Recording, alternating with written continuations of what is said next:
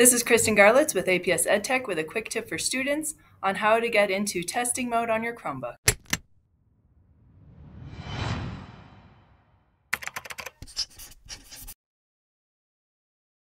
First of all, students, it's very important that you shut down your Chromebook properly so that it can run updates before you begin testing. So, a day or two before you begin testing, if you haven't shut it down recently, click on the time in the bottom right corner then click on the shutdown button in the top here, and then make sure you shut down and let it fully run updates before you close the lid. First thing you must do, students, is log out of your APS Chromebook account. You do that by clicking on the time in the bottom right corner, then click where it says Sign Out. After you sign out of your Chromebook, your screen should look like this. Do not sign in again you're going to click on the Apps button, which is in the lower left corner. Once you're in the lower left corner of the screen, you're going to click on the Apps button, and now you should see a list of all of the testing apps available to you. You're going to click on the one that the teacher tells you to go to. This is a list of all of the apps that you may or may not see in your Testing Apps menu.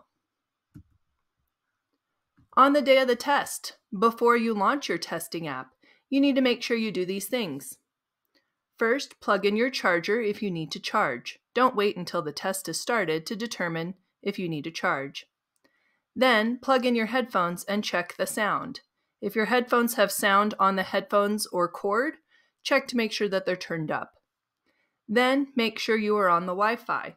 To check the Wi Fi, you click on the time again, and then check this little button here to see if you're on the APS Wi Fi.